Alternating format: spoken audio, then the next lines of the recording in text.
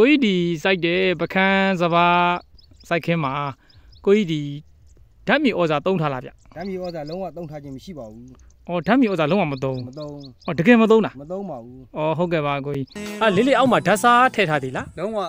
တလုံးဝဓာတုဓာတ်စာလုံးဝမသုံး။အော်ဟုတ်ကဲ့ဓာတ်စားလုံးဝမသုံးဘူးပေါ့နော်သုံးတာပါ။ဟုတ်ကဲ့ပါဟုတ်ကဲ့လေးလေး။စိုက်ထားတဲ့စပါးကင်းလေးမှာဓာတ်မြေဩဇာသုံးထားလားဘာမှမသုံး။ဓာတ်မြေဩဇာလုံးဝမသုံးဘာဘာတမုံတော့မသုံး။အော်ဟုတ်ကဲ့ပါ။ ဟုတ်ကဲ့ပါစပါးတွေတော့အရန်ကောင်းတာပဲအင်း။ဒီစပါးကင်းပါလေ။ဒါကဓာတ်မြေဩဇာသုံးထားသေးလားဘာမှမသုံး။ဓာတ်စားလုံးဝမသုံးဒါဘူးသာမနော်သုံးဘူးဒီဒါဆိုထားသွားမှာ။ transform တည်တံပေါ့တည်တယ်။ဒါဆို3ချိန်မြောက်သုံးချိန်မြောက်ဖြန့်ထားတာပေါ့ဖြန့်ထား။အော်ဟုတ်ကဲ့ပါမ။အစိမ့်လေးက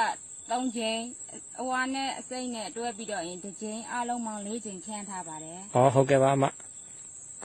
ဒီစပားကင်းအောက်မှာအမဓာတ်မြေဩဇာထည့်ထားသေးလားအမထည့်မထားဘူးထွားဆောင် ဒီပဲတုံးထားတာပါဩထိုင်းစီးပဲတုံးထားတာပေါ့ဓာတ်မြေဩဇာလုံးဝမတုံးဘူးပေါ့မတုံးပါဘူးဩဟုတ်ကဲ့ပါအမ